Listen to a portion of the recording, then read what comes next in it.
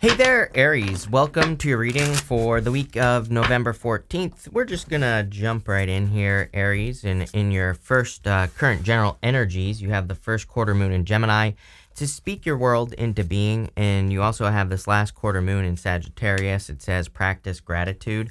Uh, pretty much all the readings uh, for the month of November had a lot of like manifestation stuff and also practicing gratitude as well came up quite a bit in the November reading. So I do feel it would be a great time to, you know, practice any of those things. You also have the Queen of Wands as well.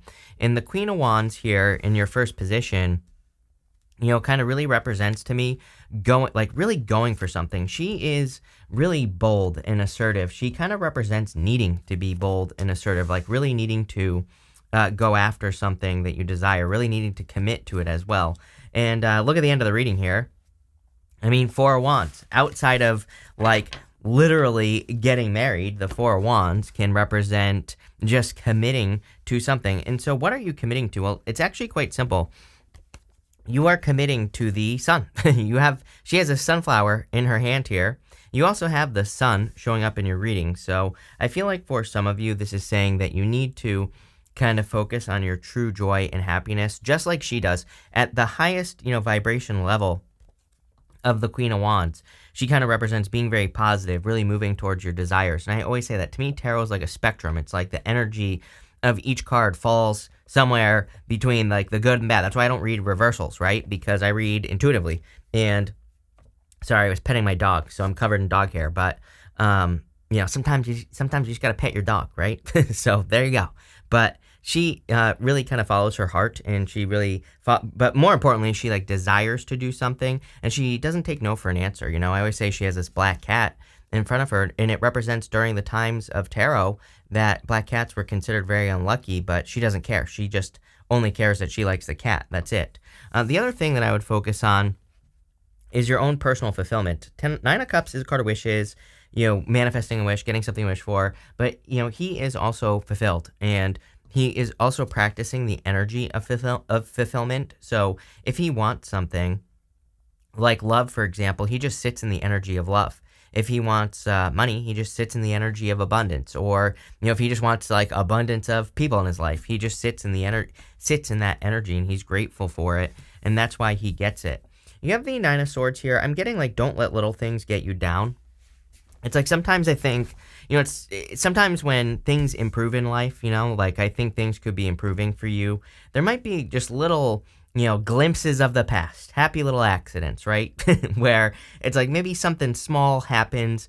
And I feel like you need to make sure that those things don't ruin your day. It's like, you know, as a Pisces, I totally get it. I used to, like, you know, when my life started improving, like tiny little things that would remind me of, you know, a mistake I made in the past or, you know, whatever would like pop up and I would let it ruin my day or two days or whatever.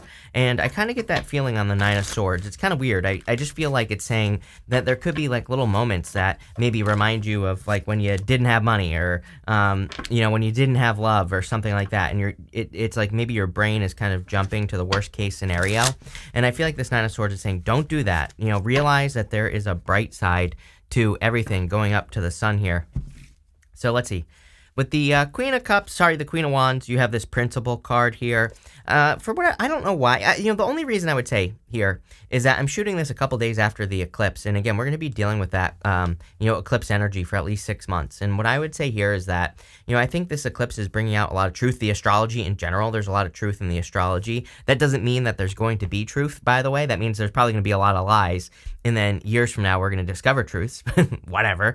And you know, just life and what I would say here is that, um, you know, I, I would say that as long as you're doing things because, you know, it's your principle, like you have principles, right? And as long as you're following those things, I feel like you're going to be finding a lot of success. Whenever you get lost as well, I think you need to say, you know, does this align with my beliefs? Does this align with my principles? And if you don't have principles, then I think it would be a good time to like come up with some principles. It's kind of weird that, you know, the star comes up a lot. You don't have it here, but you do have the sun, uh, which is close. And, you know, uh, what I would say is that, you know, I think that we need to have kind of like a North Star right now, something that we aim at, something that we can use as the object of our attention, like some sort of purpose. And, you know, I would come up with something. With the Nine of Cups, like another card with the sun on it. Right here. This card says endurance on it. Endurance is like not giving up. And i feel like you haven't been you haven't given up. It's like these are rewards that are coming in for you aries. So i feel that you are receiving rewards for you know working towards something for a very long period of time. It's like you haven't given up.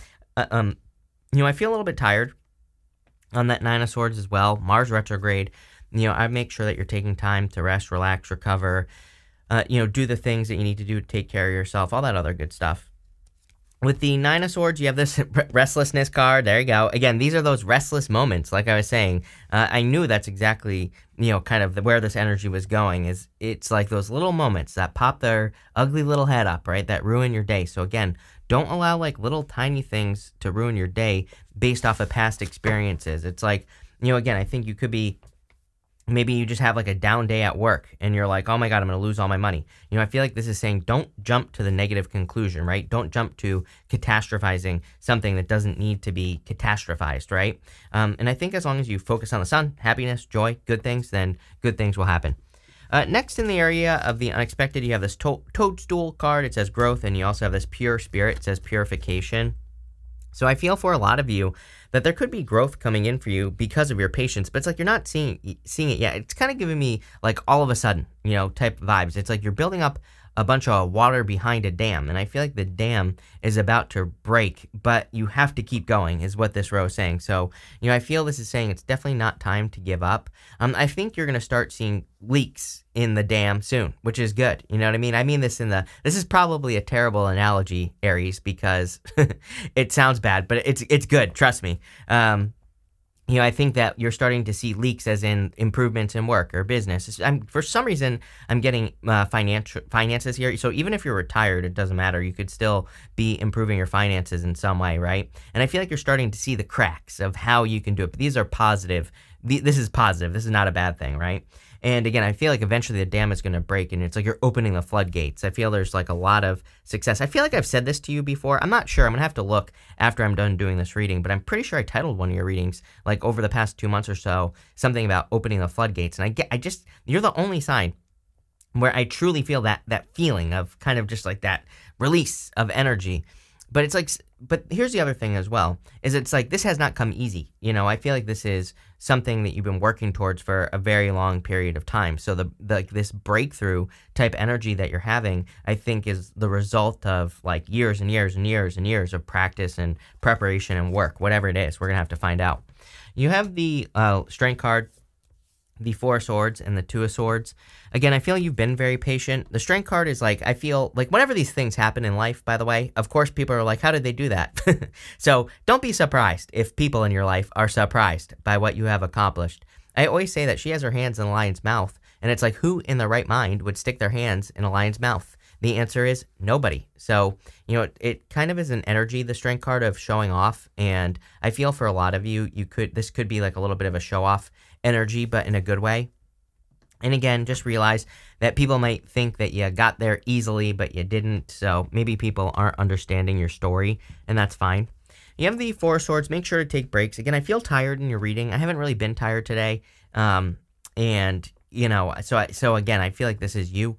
And if you need a rest, re relaxation, a break, take a break, right? You know, take some time for yourself you know, especially depending on your astrology, you know, Mars could be retrograde in your second house, for example. It's not that's obviously not going to be true for all of you, but um, if it is, then you know, if you need a break in work in your business or whatever, I would take those breaks.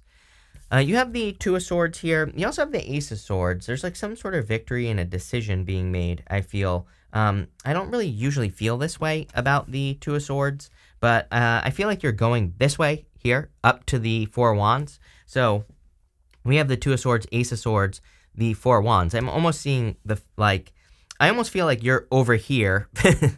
uh, I feel like you are picking one of these swords going this way. So it's almost as if you you are making a decision, but it's like uh, ex- I feel like an external person or an external situation is giving you options, but you're picking uh, like something like your own personal victory or something. I don't know. Um, sounds weird, but I'll take it. So there you go. I feel like you're going towards the Four of Wands.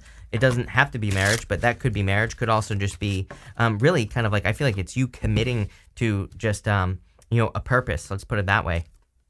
Uh, with the strength card, you have the friendship card. Yeah, like I said, other people are going to see how strong you have been. Um, you know, you have that endurance card, which also has a guy wrestling a lion on it. And I really feel sometimes if we just don't give up on something, we find success. And that's kind of what this looks like to me. It looks like a breakthrough just because you've been persistent. And again, trust me, persistence is always rewarded. I promise you. Um, with the Four Swords, you have the choice card here. Uh, we were talking about a choice with that Two of Swords. So I feel like you have a decision. This is probably a decision that you've been hoping and praying for. Uh, let's see what we get with the Two of Swords. You have this innovation card. You're picking the new path regardless. Some of you could be picking a new person in love. You could be picking the new business, the new idea. I feel like you're picking what's fair. It's funny, that choice card is Mars and Libra. This card here is Aquarius. You have a lot of fire, air energy here. Four of Swords, Ace of Swords, Two of Swords, Nine of Swords. You also have this To Be Fair card, which is Libra. So I feel for a lot of you that you're really weighing your options, but I feel like you're picking kind of like the new path, you know, especially with that um, innovation card. It really suggests that you're probably picking something new in your life. Uh, next, in the area of, of, what's coming in for you, you have the soulmates card and this um, this to be fair card. Just like I said, could be a Libra coming in for you if you're looking for love. Aries could be a Libra, could also be a, a Leo as well, or could be any fire sign if you you know take how it resonates. But I feel for some of you this is more balance. I'm also getting something here where it's like I feel like you need to realize that you haven't like wasted anything. Um, and here's what I mean by that. It's like if you recently lost a relationship, I feel like you need to realize that yes, maybe you planted a lot of seeds and in that relationship, and maybe you feel like you um, wasted your time. But I don't think we ever truly waste our time. Maybe we feel like that, but again, I feel like those seeds are just going to sprout somewhere else for you. So it's like you know, I really like it's really it's really kind of being pushed into my head that you didn't waste your time. And this doesn't have to be love. I feel for a small percentage of you. You know maybe you feel like you wasted your time on business or things just aren't working out for you in business. But for whatever reason i really feel like your guides and your you know i'm like i'm picking up on your guides really. It's not even normally i would say like the universe but i don't feel like it's the universe. I feel it's like people around you really want you to know that you haven't wasted your time um, whatever it is that you're doing, you are about to be rewarded. Look at this row, Aries. Are you kidding? You have the Sun, the Ace of Swords, and the Ten of Cups. It's like true happiness, you know, coming in for you. So I feel for a lot of you that you will be experiencing true happiness with the Ten of Cups. Ten of Cups is like fortune after difficulty. Uh, you know, good things coming in for you after a difficult period of time. So I feel that this is saying that there's just happiness coming in for you after a difficult period of time. I also feel that these are the seeds. It's kind of like you know, these things have have existed in your imagination. I always say that those 10 cups are above their head and they are you know, maybe those 10 cups don't really exist. And the point of the 10 of cups is that they're choosing to be happy. They still live in the real world. If you look at the rest of the card, it's just the real world. It's not that those 10 cups. Then you have the sun, the happiest, best card in the deck. So a lot of happiness, joy, um, you know, just good things coming in for you here with the sun. And you have the Ace of Swords, which is a victory, uh, success, abundance, you know, good things coming in for you. I feel there's been a sacrifice that's been made here as well. You know what's interesting is I'm wondering if you have left something behind or like a person because you see how this person's legs are like in a board or something. I get this feeling that some of you could have chosen to make a sacrifice. Ace of Swords, there's this palm frond right here. And the palm fronds in the tarot represent a sacrifice. And then you have the olive branch on the other side, which represents abundance. Some of you, I feel, have maybe cut someone out of your life. For some of you, I'm wondering if this is a family member because it, like, just intuitively, the way I feel is like I don't want to do it, but I also know like something is per, is stopping my abundance. Like if I put myself in your shoes, Aries, it's almost like I have to do this. uh, so I don't know. I feel like you feel good about it if, if that message is for you. Again, that's not going to be for all of you. Take it, take it, take it. What resonates, leave the rest. Right. Uh, could also be love that you have sacrificed. Let's see. With the sun, you have the eccentricity card here. You have uh, one, two, two Aquarius cards showing up in this reading. So, you know, there's a lot of Aquarius energy over the next few years. I think we're entering into the age of Aquarius. And, you know, that Aquarius energy says that we have to all be our own little star. We have to stand out. We have to try new ideas. I keep encouraging uh, uh, people to think of third place ideas as well, ideas that we just don't know exist, right? I know that sounds confusing, but if you look at everything in the world, it's like this side, that side, right? And I'm not making a political statement here, but it's like maybe there's a third place that exists that isn't this side that side. It's like pretty much every issue every even good things are like this side that side right? Um, so it's like is there a third place? Is there some idea you can come up with for your business or for your relationship or whatever that doesn't exist or hasn't been tried yet or you know is a mixture of two things right? It's like those are the best ideas. And you know people keep asking for examples. Just look at my youtube channel right? Go to my shorts. There's a million ideas for you right there right? So you know i keep telling people it's like i, I live this stuff. I do this you know, as well. I practice what I preach. With the uh, Ace of Swords, you have this birth card here. Some of you could be having a child. You have the Ten of Cups, this card, four, four Wands as well. So uh, definitely could be the birth of something like a ch- actually a child. Uh, you have the Ace of Cups, good energy around this as well. If you are having a child, uh, if you're not having a child, and even actually, even if you are, I feel pretty much all of you Aries are kind of looking at birthing your ideas. And, you know, this has been a major theme for you for a very long time is that you uh, are like the only sign that gets these messages of like really kind of working things, you know, working on things. But for you, it's different because I see like for you, it's like you're working with clay. Like I feel like you're really kind of, you know, trying to refine something in your life. And uh, I think Taurus is the only other sign that gets a similar message, but not like this. this is something very different. You've been working on this for a while and you're about to be rewarded, whatever it is. With the uh, Ten of Cups, you have this extremism card. Everybody's had this card. I would be careful of like rushing to judgment. Mars retrograde, I mean, just typical Mars retrograde rules no rushing to judgment, no getting injured, uh, no overworking yourself. If you feel tired, take a break. If you feel like working, work. You know, again, Mars retrograde doesn't say don't do something. It just says when you're in the flow, do it. If you're not in the flow, don't do it. no road rage, you know, none of that.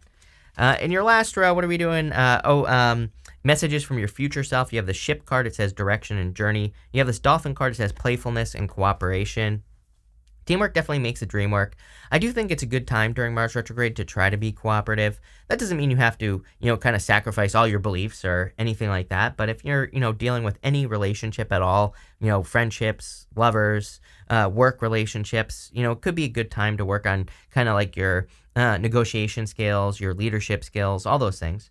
Uh, and some of you could be traveling. I see travel in your future regardless is what I would say to you, just like Pisces. I mean, I think it's impossible for the most part uh, for you Aries uh, and Pisces, but you know you're an Aries, obviously, to not travel over the next ten years. uh, and you might be saying, "I'm never leaving," but trust me, you're probably going to leave or travel at the very least at some point uh, over the next few years.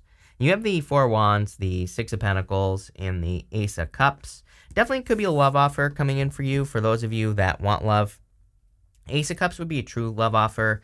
Um, I'm getting something about here on the sixth or six days, six weeks, six months. Again, I don't trust psychic timing at all uh, because to me, the universe doesn't wear a watch. Things happen when they're supposed to happen, but you know, it could be like six days, six weeks, six months, something like that. A person coming in for you. And uh, I feel like it's true love with the Ace of Cups, your emotions overflowing. Very much equal give and take. I feel like you've dealt with people who have ulterior motives, is what I'm getting in the past. Or you have recently dealt with a person who had like hidden motives. You know, maybe you just, maybe they're always trying to get like one over on you or something like that. I don't know. I don't know what, how to explain that, but I think if that's for you, it makes sense. And I feel like what you're meeting is something more balanced. Uh, I also feel like all of you, great time for experimentation. I talk about it all the time because, again, if you want to get rich, if you want to be famous, if you want love, if you want anything, happiness, then experimentation is the name of the game. I promise you, anyone who experiments is going to be successful. And uh, finally, you have the Four Wands marriage. Some of you that, uh, could be getting married or meeting a person that you're marrying. I really feel you're crossing a threshold here, though, where it's like you're never going back. It's almost like there's a new standard being set for your life here, Aries. Damn, that feels good. I'll tell you what. I like that. It's like there's a new standard being set for your life, and I feel like there's no more kind of going back to the past. So, love it. Uh, with the four wands, you have this impulsiveness card. I would like chill out with the impulsiveness. This isn't a bad card. There's actually a lucky horseshoe at the top of the card. But uh, Mars retrograde, it is never a good time to just be impulsive. I think if you have those exciting moments where you feel very excited about an idea, for example, you know, grab onto that energy, kind of ride the lightning. But also try to capture the lightning in a bottle so you can uh, look at it for a hot second and make sure you're making the right decision. With the uh, Six of Pentacles, you have the Devotion card. Everyone's had this. Uh, I love this card. It's like there's a bird with a dead bird. So cute, right? So it's like imagine being with a person who, you know, weeps over your grave there, there it is, right there. So I feel like there's true love coming in for you. Could definitely be a Libra. You have a ton of Libra here. Uh, I would say at the very least, they probably have Libra in their chart. But again, it is a general reading. It could be any sign coming in for you. So there you go. With the Ace of Cups, you have this caution card. I would be careful of the past here, is what I would say. I would be careful of anything. Like, this is very overwhelming, this card. Like, look at it. There's like a bunch of animals on it, bunch coming at you, and this person has their hand up, like, stop. so I feel for some of you that in love, you could have someone who's like trying to rush in, and I would definitely um, be careful of that energy uh, with that card. But other than that, this is one hell of a reading. Again, I think the standard has been set. There's like a new standard for your life, and you're never going to go back to the old way. So there you go. Uh, we're going to do three cards here. I'm going to answer one question. If you have a question, feel free to pause this reading, but here's the three cards. Uh, if you don't have a question, that's fine too. I'm going to put them all together at the end, kind of like a personalish reading. But feel free to pause now because I am going to read the cards right now. You have the Six Wands, Ten of Pentacles, and the Ten of Swords. It's like something you thought was going to be a success didn't quite work out in the past. I feel like you are the the Queen of Pentacles. I feel like someone else is the Ten of Swords. Uh, so I feel like a person in your life feels the Ten of Swords. Could be like an ending. Queen of Pentacles says you have the resources. I almost feel like I would be careful. Like I'm, I'm not saying that we shouldn't help people in our life, but it's like I, you know, I'm sure we've all experienced those people in life who it's just they're always down in the dumps and they just can't pull their own head out of their ass. There isn't a nice way to say it, right? And I would just be careful of someone like that because it's kind of popping into my head here that some of you could be dealing with a person who it's like they they they you know they basically they can't tell the difference between their ass and their elbow, right? So I feel like some of you need to be careful of that. For others, I feel that you did have a difficult ending. This to me says that there's going to be success after a difficult ending that you have experienced. kind of feel like you're done with something. And again, I also get something here about the seeds. Remember what I was saying? It's like I feel like you need to realize that all was not lost. Like those are the words that are popping into my head. I feel some of you have had a bunch of situations, not just one thing. This is like multiple losses that you've experienced over the years. And I feel like all those kind of like seeds are coming back to sprout in your life. That's what this reading looks like to me. That's what it feels like, honestly. Actually, it doesn't look like that, if I'm being honest, but it feels like that. So, and uh, there is a lot of happiness here, don't get me wrong. So, uh, love it, Aries. Thank you for being here. Really appreciate it. Make sure to watch your Sun, Moon, and Rising for a full picture of what's going on for you at this time. But uh, thank you, and definitely enjoy your week.